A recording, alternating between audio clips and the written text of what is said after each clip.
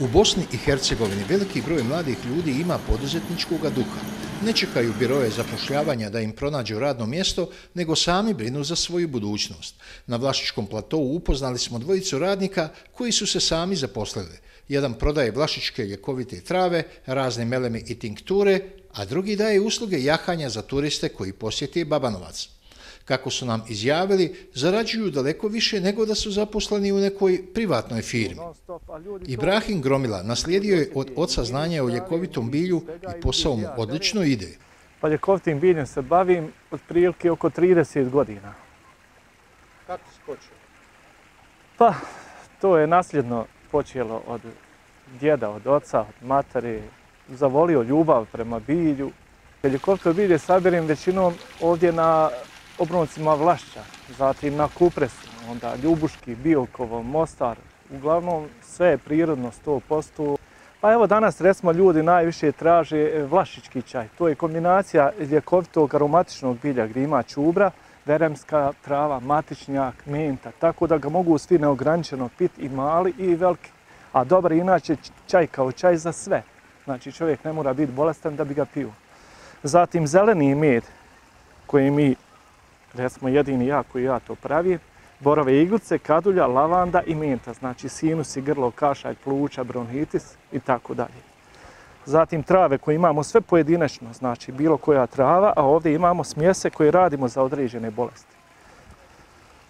Tu su zatim tinkture, razne tinkture, kreme, recimo, gaviz, najviše se traži, zatim kreme za reuma išjas, kičma, cirkulacija, zglobovi, zatim sirupi za djecu, za kašalj, za grlo. Uglavnom, to je to. I na kraju med, znači lično moj med koji ja uzgajam, ima med od bagrama, ima med od livadi. Bavim se ovim poslom već 7 godina, e, imam sedamnest i posao ide dobro. E, cijena jahanja je 10 maraka, 15 minuta. E, najviše jašu ljeti Arapi i naši. Ima znači i domaći turisti? Ima. Šta je najvažnije kod tog jahanja? Ima li kakva predznanje, obuka i to? Pa mi učimo ja, jahat djecu i, i ko ne zna. Et. E, završio si zanat, evo, da. nisi mogao naći posla, jesi li se našao u ovom poslu?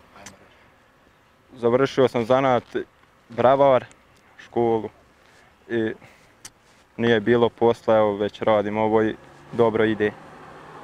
I koliko ti možeš recimo dnevno zaraditi ovdje na vaš? Od prilike stotinjak maraka. Tako, tako. Ne, ja tako dnevno ja. sigurno ne bi nigdje mogu imati. Jeste. A, a što daješ konjima, koliko konji pojedu, koliko je stu troško? Pa lje, ljeti ne jedu samo travu, jedu ne, a zimi dajem žito i tako. Ali vidio sam i zimi si ovdje, je li zimi ljudi? Jeste. Ljeti dolaze, zimi dolaze iz Hrvatske, od tamo najviše, iz Njemačke i tako. Arapa nema. Pa za imunitet, recimo, kod djece je najbolje što ide, mi pravimo jedan lijek za imunitet, znači tu dodajemo polen i jedan dio propolisa zatim med od bagrema i tako, uglavnom, to je to. Ima kupaca ovdje na Vlašiću? Pa kupaca ima, kad, kad se radi sve kako treba, znači uvijek dolaze stalni mušterije koji kupuju non stop, a ljudi to vidi. Znači ljudi osjeti i miris trave, miris i svega i vidi gdje ja berem. Onda ljudima ja pokazujem koja je koja je biljka da mogu sami ubrati.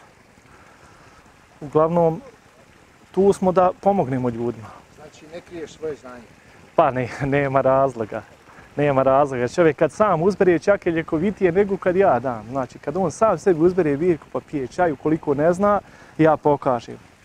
Uglavnom, to bi bilo to. Smo non stop me ljudi zovu na moj broj, sad trenutno mogu i slat i brzom poštom i tako, a ljudi uvijek dolaze jednom kad kupi neko, a pomogne, ne treba više reklama. Znači, reklama je to što ste vi proizvali, zato i radim ovi 30 godina, zato što to radim sve kako treba, sve prirodno, sjekrom, sjeckam, sušim u hladu i tako. Ibrahim je neobičan i po tome što siromaštima ne naplaćuje čajeve od ljekovitog bilja. Ja ovdje radim kad je sezona. Znači, svi oni koji nemaju novca, koji baš nemaju novca, a imaju problema sa nekim bolestima, nek dođu, nek se obrati, evo ja to lično govorim, ja ću to dati bez dinara. Glavnom, moramo i takvi ljudima pomoći. Samo još želim da kažem za gospodina Peru Gudelja, to je čovjek velikog srca, čovjek koji mi je dozvolio da radim ovdje, a ja za Peru obavljam razne poslove kao malo oko cvijeća, trava i to. I još jednom da kažem, to je čovjek velikog srca koji je pustio svim ljudima da uživaju u ovoj prirodnoj ljepoti i blagodati. Ovo su pravi primjeri kako se ljudi mogu samo zaposliti, biti samostalni i neovisni, a istovremeno pošteno zaraditi svaku marku.